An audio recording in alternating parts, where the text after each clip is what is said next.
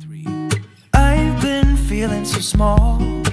Watch the clock ticking off the wall. But tonight I'm letting it go. Spend Welcome to the DIY and Decor Challenge 2020. This month we are doing the organizational DIY and decor challenge and this is hosted by Christina from the DIY Mommy. She does a lot of DIYs, crocheting, home decor, crafts. She's a mom of three beautiful girls. She's also married and live in Alberta, Canada. I would love for you to visit her channel. She is absolutely incredible, very talented at what she does. She does offer a lot of amazing tips as well. So be sure to check out her channel. Um, her link will be down in the description box below. Also, there will be a playlist of all the awesome and wonderful women that is going to be taking part in this DIY and decor challenge. Be sure to check the description box and be sure to go and visit all those channels, all those wonderful ladies, and show them some love and, you know, watch their videos, subscribe to their channels, and make sure you let them know that I sent you over. Um, Christina, thank you so much. This is always so much fun to take part in. You are absolutely amazing, and I am super duper grateful and appreciative of what you do here on YouTube. So, today I am going to show you guys how I organize my 1920s kitchen pantry. Um, my kitchen is kind of still in the process of being um, renovated. Well, not really renovated, but decorated. Um, I kind of just slapped some paint on the front of my cabinets, and I am definitely planning in, on planning on giving it another overhaul this year. So inside my cabinets, as you can see, it is yellow, and it was the original color from the when the house was built. And these are metal cabinets, so there was no way that I could um, get into them and take them out. But I absolutely love them. They are amazing. But inside my cabinets, as you can see, it's crazy, it's chaotic, it's just, it has no organization, and it's driving me insane. So, this was a perfect opportunity for me to get into my pantry and my cabinets and clean them out and kind of organize them and throw out expired foods and Oh, y'all know how it is, mamas. Y'all, you guys know how it is when you have kids and they just go through it like they it's a storm. So I am super excited. So please stay tuned for this video. I will not be talking through the video, but I will pop back in at the end of the video. Thank you so much for watching.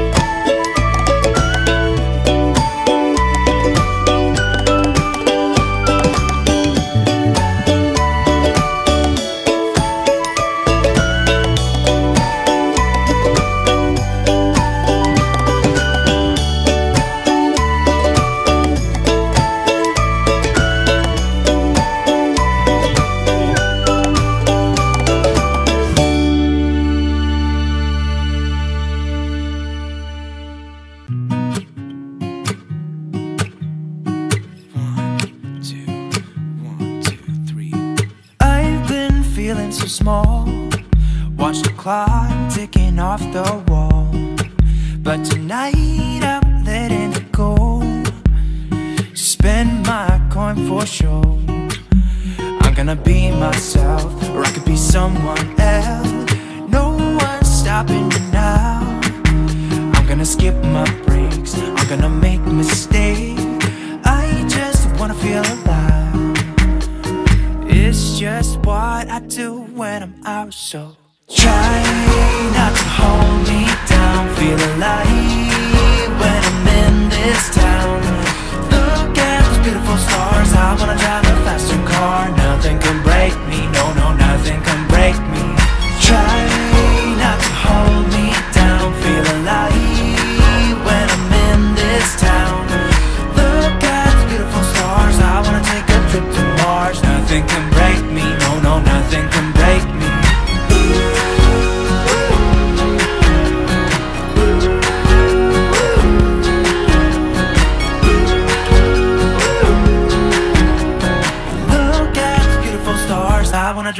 faster car.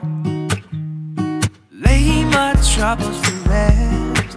Blow the smoke through my cigarette. City lights looking fine.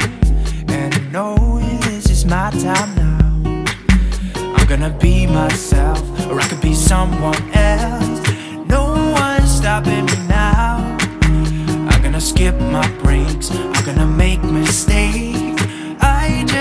feel alive. It's just what I do when I'm out, so try not to hold me down. Feel alive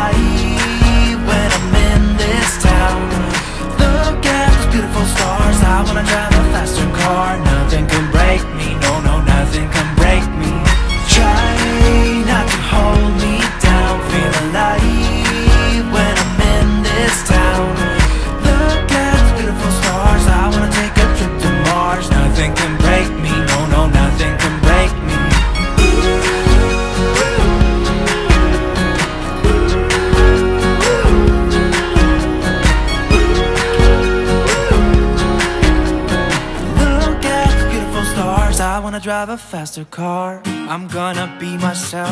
I'm gonna be someone else. I'm gonna be myself. I'm gonna be someone else. I'm gonna skip my breaks. I'm gonna make mistakes. I'm gonna skip my breaks. I'm gonna make mistakes. I'm gonna be myself. I'm gonna be someone else. I'm gonna be myself. I'm gonna be someone else.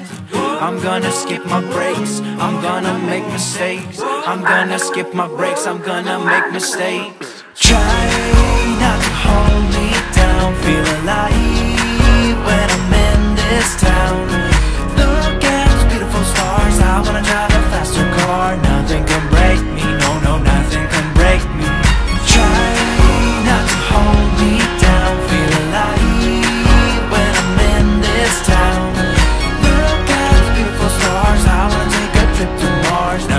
Can break me. No, no, nothing can break me.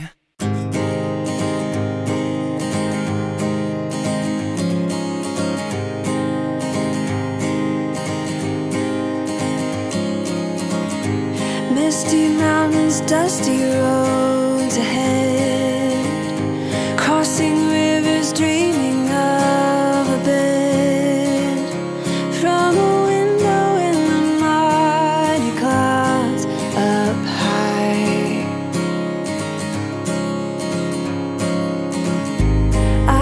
Touch a stream of gold above breaking through with hope of light and love, giving peace of mind to those of us who try.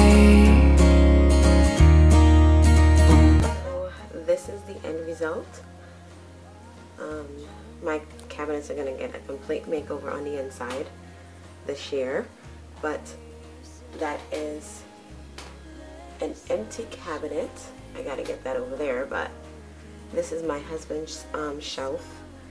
This is where he puts all his vitamins and his organics and stuff. He's out, so he's actually going to be picking up some. Um, and then this is my cabinet where I put all my tea towels, So I have them categorized for Christmas, fall and Thanksgiving, spring and summer, and then my everyday um, tea towels. There's a lot right now that's in wash, so um, they're going to be coming back. And in this drawer, I just put like my um, my baggies, my matchsticks, and my lighter. Um, I don't use um, foil paper because of the aluminum, but um, you know, this is where I will be putting all these items. As you see, I don't use a lot of them, um, but I do have the sandwich bags for my daughter because she normally takes snacks to school.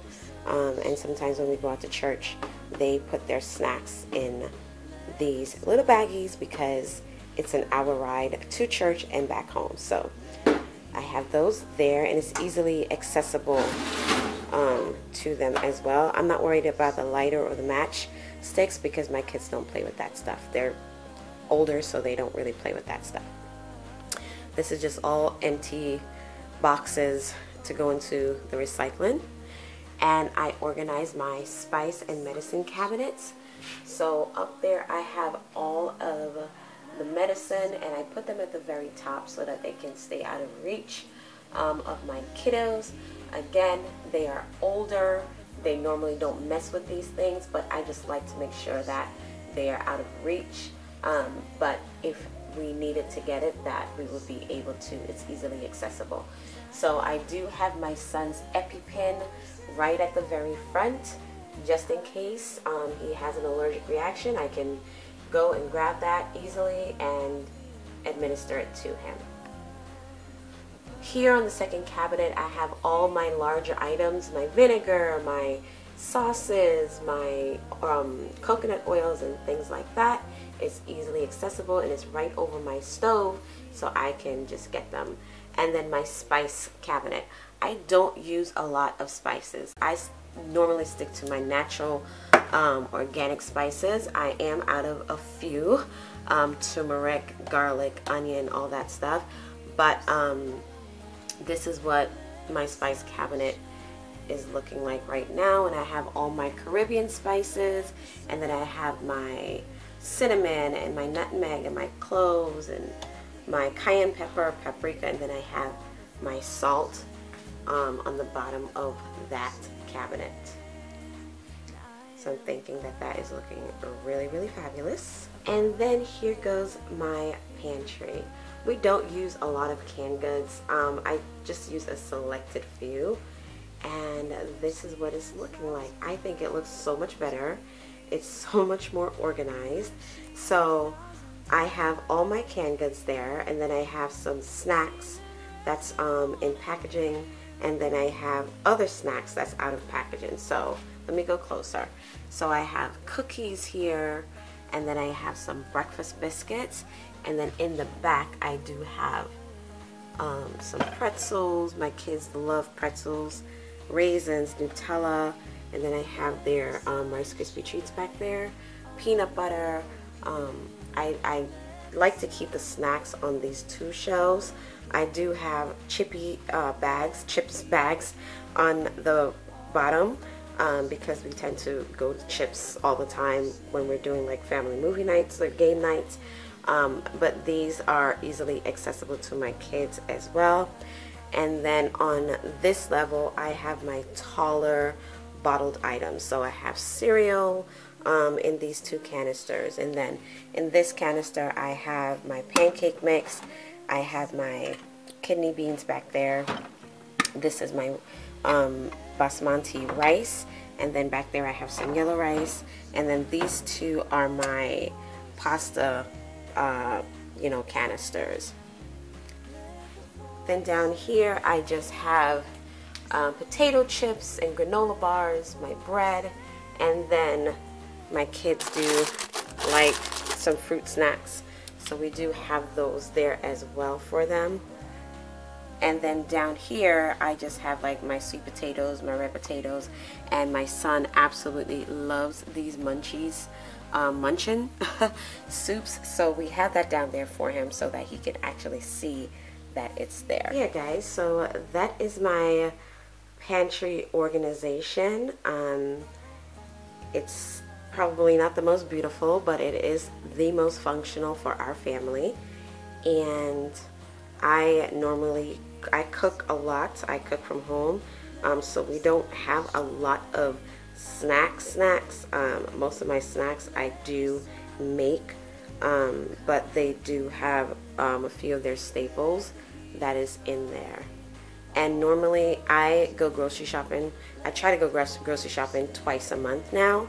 Um, and so I wait until everything is completely out and then I stock up. I don't go to the grocery store and buy more chips on top of chips. I let them eat what's there and then I go and I stock up because it's a total waste to have to go to the grocery store, buying potato chips, buying snacks, and they have snacks here already.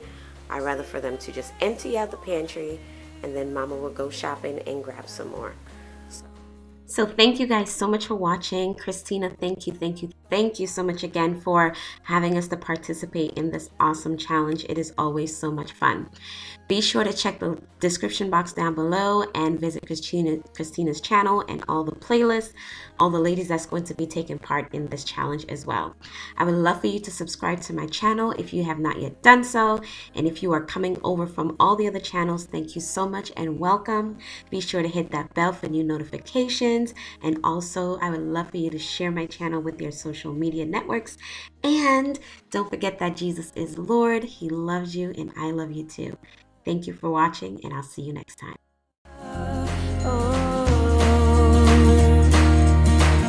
Let the sun shine on the broken. Let the summer.